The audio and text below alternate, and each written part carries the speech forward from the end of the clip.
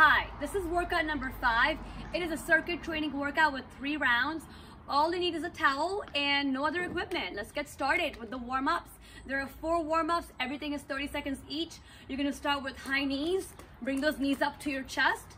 That next one is butt kicks. The next one is chair pose. Arms straight. Keep your heels flat.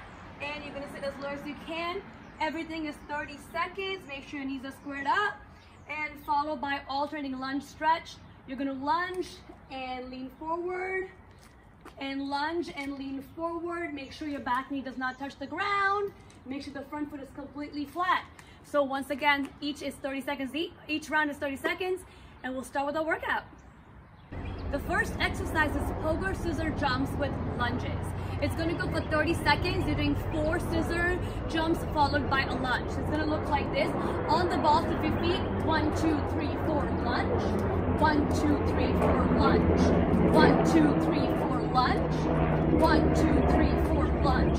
You wanna stay light on the balls of your feet and you do that for 60 seconds. The second exercise is a figure four squat.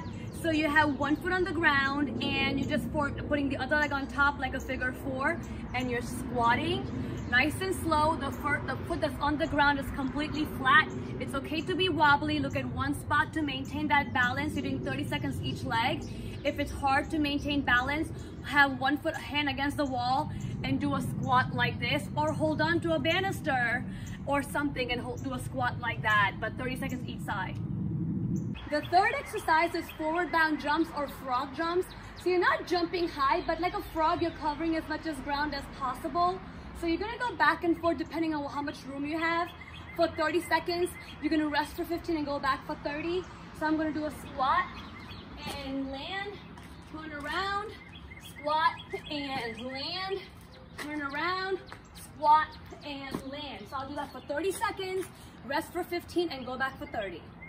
This next two exercise, straddle squat and squat holds is a twofer. So you're gonna go the straddle squat for 30 seconds and the squat holds for 30 seconds and you're gonna repeat it. So you're gonna straddle squats like this, you're staying low, keeping all the body weight on the heel of your feet. You wanna make it harder, have your hands behind your neck.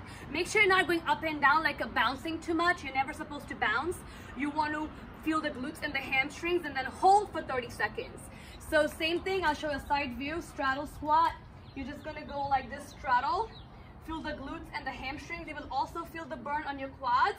After 30 seconds, you're gonna hold for 30 seconds. You're doing this twice, and if you want, you can recover for 20, 20 seconds between each round. This next two exercises is a push-ups into plank. It's again a twofer. You're gonna do back-to-back -back 30 seconds and then you're gonna take 20 seconds off and then go back again one more time.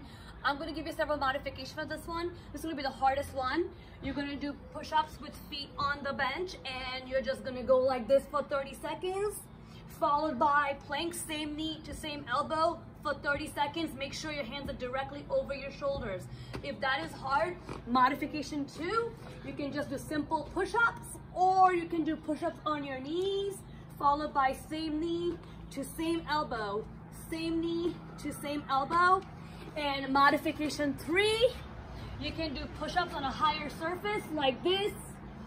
You can also have the chest touch the bench or your bed or your couch, followed by same knee to same ankle. Have fun. The next exercise is a lat pull down. I'm going to do two variations again. Uh, if you know me, if you do a push, you got to do a pull. You can't just do one without the other. So use a towel. If you have a higher surface like this, that's perfect. Um, now, ideally, I would like something higher, but I don't have that. So I'm going to show you this. It may look like a squat, but I am doing a lat pull down. So I'm going to take a towel. It's a medium length towel. I'm, I'm pretty, pretty much squatting and then I'm going to fan out the towel while I stick my chest out, shoulders back, squeeze my shoulder blades. I'm stopping at my chest and bringing my arms straight up. I'm rounding my arms, squeezing my shoulder blades and bringing my arms straight up. I am working my lats just like that. It may feel like a squat, but you're actually working your lats. If you feel like that's ineffective, this one too is gonna work really well. You just wanna lay on the mat or your bed or the floor. Make sure there's tension on your towel. You don't have to use a towel if you don't have one. Arm straight, take it to your chest, squeeze your shoulder blades, and bring it straight out. And take the towel to your chest, Squeeze your shoulder blade and bring it straight out. It may feel like a shoulder press. Make sure you are doing like a semicircle, squeezing, holding it, and taking it out.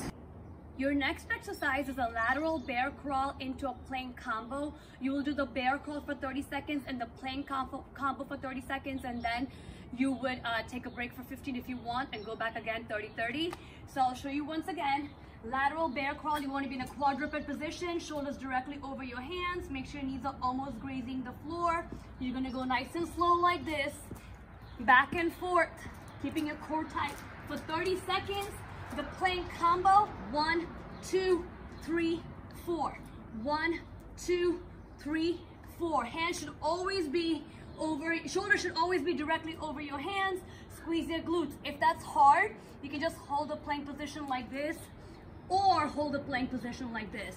But you're doing this twice. 30 seconds bear crawl, 30 seconds plank combo, and then rest, recover for 15 and do it again. So the last exercise, you're gonna finish up a little bit of conditioning, a cardio element. You're gonna do shuffle into sprints. You're going to go for 30 seconds.